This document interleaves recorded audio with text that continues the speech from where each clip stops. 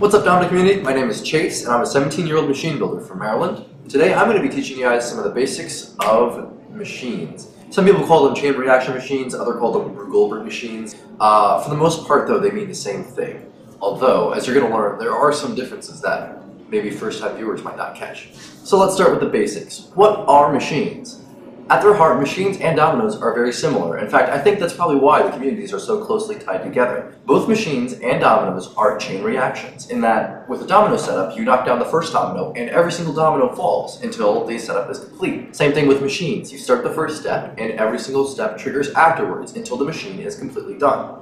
There are, of course, a few basic differences between machines and dominoes. One is that machines are a lot easier to reset because most of the building time of a machine is in actually building the structure, what you see is that machines can often be reset in a matter of minutes, while domino setups, of course, take a lot longer to reset if they've been toppled on accident. What that means is that machine builders often build riskier tricks, because when they film them, they often have the option of filming many takes instead of making sure things go smoothly the first time with domino setups. Another big difference you see between machines and dominoes is that because machines rely on the potential energy of gravity to continue the reaction, you see them built on tables a lot because then you can have things fall off the side of the table and pull strings to trigger the next step. With dominoes, you don't see that as often.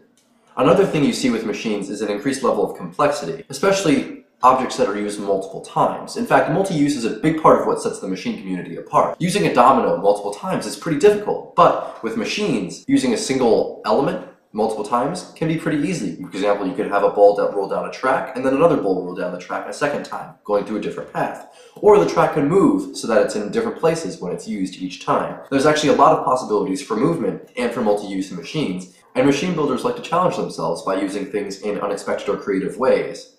And the most fundamental difference, of course, is that domino setups are mainly composed of one thing, dominoes. On the other hand, machine setups can be made of almost anything. You'll see household objects, sure, and there may be a, a, few similar objects between the many machines that you see, but the fact remains that almost anything can be used in a machine, and the fact that there are so many options means that there are many different machine styles, because those styles depend on the specific objects that the builder builds with.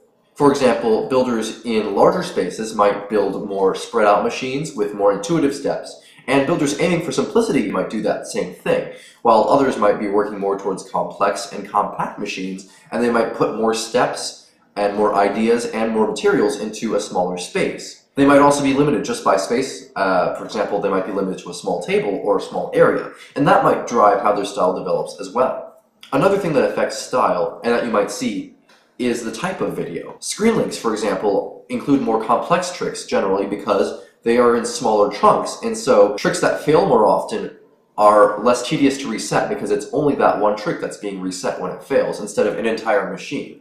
Likewise, you'll see machines at live events are often larger and perhaps more intuitive simply because they might be built for audiences that might be seeing them from a greater distance than viewers of a YouTube video that's shot up close.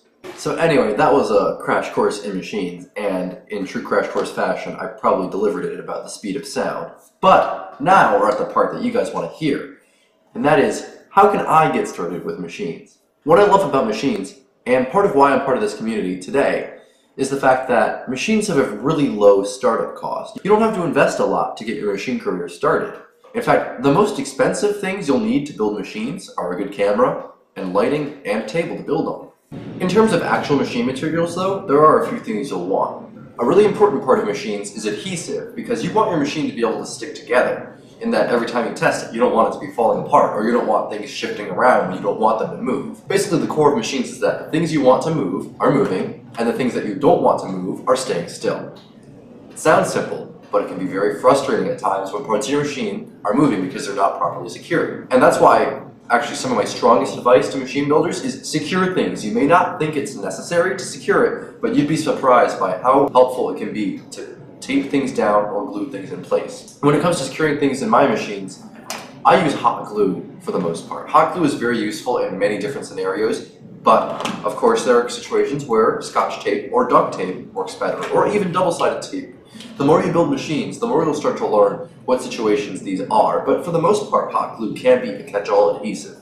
Another big part of machines are balls. Balls are really useful in that they're very versatile. You can do a lot of things with them, and they're very easy to use when transferring motion from one place to another because they can roll on tracks. The most basic and I would say most common ball in machine building is probably the ping pong ball because it's very light and so it's very easy to trigger. But at the same time, it still packs enough of a punch to trigger further elements of the machine. You'll probably find ping pong balls in a good majority of the videos you watch in the machine community. However, it also helps to have other types of balls. For example, larger balls or smaller balls so that you can make tricks that sort things based on size or that perhaps rely on size to create neat multi-use elements. You'll also want heavier marbles or billiard balls so that you can make tricks that rely on weight of a ball. Basically, it's very helpful to have a variety of these just so that whenever you're creating a trick, you have a lot of options on which one you want to use. With balls, I mentioned tracks. Now, tracks can really be anything. I've used toilet paper tubes that have been cut out, or tracks from toys in the past, or meter sticks, popsicle sticks, even metal railings. For the most part, if a ball can roll on it, you can use it as a track. And that gives you a lot of options. When it comes to building with tracks, of course, you want a mechanism for keeping the tracks angled. A lot of builders use blocks to prop up one end of a track or dominoes to do the same thing. Basically, you want the ball to be able to roll down from one end to the other. Supports don't necessarily have to be blocks though. Some builders like to use K'NEX to create structures that hold up one end of a track. To each their own, and that's actually part of what determines a builder's style, whether or not they have these materials and how they use them. When it comes time to trigger balls though, that's when string comes in handy. The domino and string technique is tried and true. Basically, the domino acts as a weight on the table, and the string holds back a ball. Or it can hold up another object, for example, the end of a lever that needs to be pulled. When the domino falls off the table, the ball is released. In terms of string, there's a lot of different types. I like yarn because I find it easiest for holding balls back on tracks, but other builders like cord because it doesn't fray as easily. There's definitely merits to each type of string, but most will do the trick. One last material I'd like to mention is one that you might see a lot in machines, and that's building sets like K'NEX while not everybody has K'NEX, and you'll definitely notice that some builders might not use it necessarily, and it does definitely add a very different style to their machines. K'NEX is a good way for adding complexity because it's a very versatile building system. You can build a variety of structures with K'NEX that suit all sorts of different purposes. However, it is by no means necessary to build a machine. It may seem daunting to initially get into machine building, and indeed your first machines might be very difficult to build. They may fail a lot, they might fall apart, and they might not seem very cool compared to the other ones that you see in the community.